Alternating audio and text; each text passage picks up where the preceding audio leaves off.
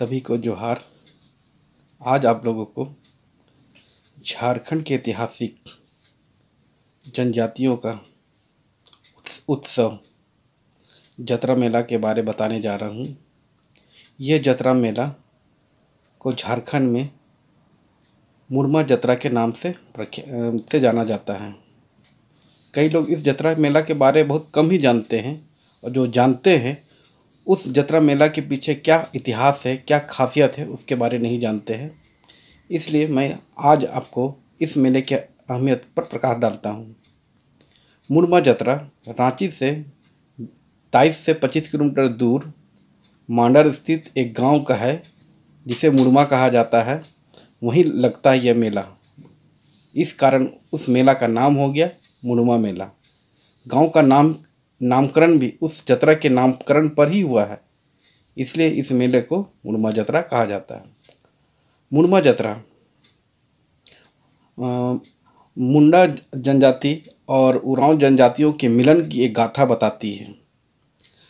सबको ज्ञात है कि उरांव समुदाय के लोग जिसे उरांव जनजाति के लोग बिहार के रोहतास गढ़ से से झारखंड आए थे। उनका प्रवेश छोटानागपुर प्रवेश में हुआ। जब तब मुंडाओं ने देखा कि उरांव जनजाति और मुंडा जनजाति के रहन सहन, खान पान मिलती जुलती है तो उन्होंने उन्हें अपने क्षेत्र में प्रवेश करने का अधिकार दिया। मुड़वा मेला विशेषकर मुंडा उरांव के बीच सांस्कृतिक, सामाजिक और क्षेत्र का आपसी बंटवारे और समझौता का प्रतीक चिन्ह है।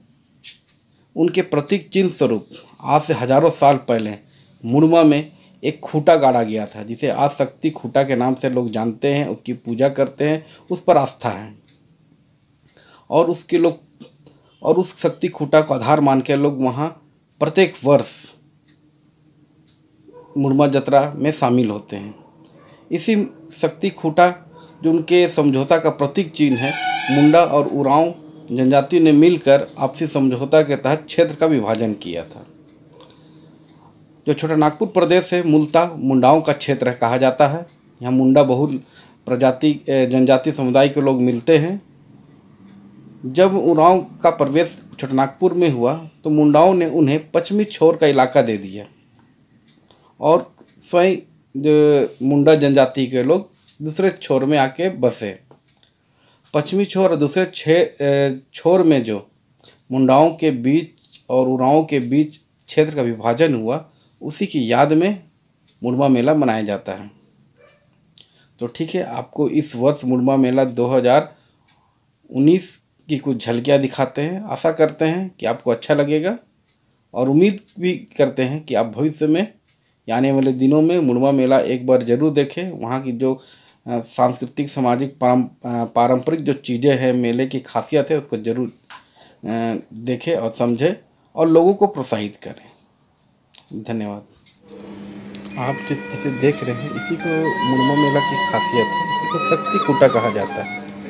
यहाँ कई जनजातीय समुदाय के लोग पारंपरिक वेशभूषा में लोग आए हुए हैं। सभी उस शक्ति कोटा की पूजा कर रहे हैं। मान्यता है और ये नियम भी है कि वहाँ 24 दिया जलाया जाता है, जो शक्ति खूटा को प्रतात्मक रूप प्रतीकात्मक रूप से से आस्था का प्रकट करते हैं।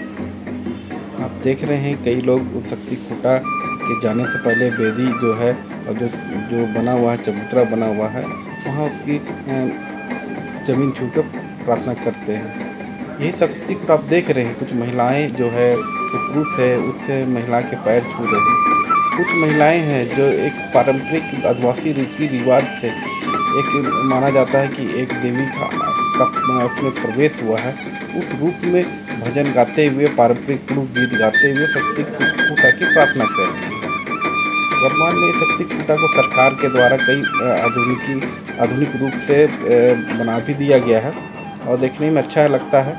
कई लोग आते हैं अपने पूर्व पूर्वजों की याद और संस्कृत धरोहर को बचाने और देखने के लिए।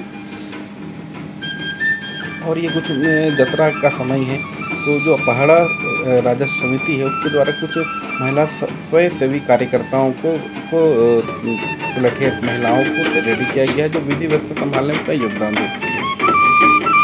इसके अलावा महिला के अलावा पुरुष युवा स्वयं सहायता मंडली को भी तैयार किया गया है, जो उसमें योगदान देते हैं।